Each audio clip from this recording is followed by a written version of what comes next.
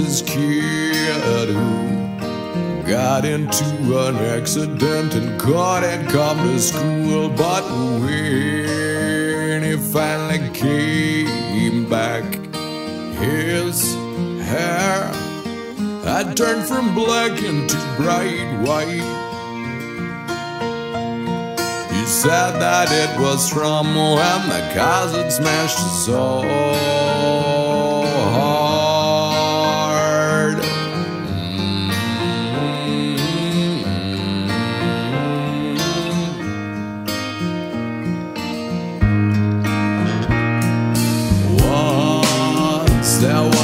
Girl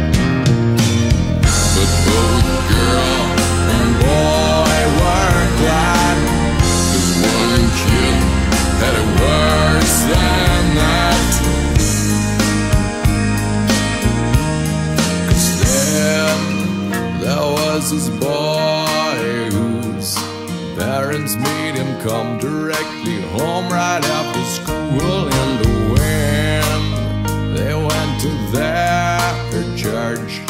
They shook and lurched all over the church floor. He couldn't quite explain it, they'd always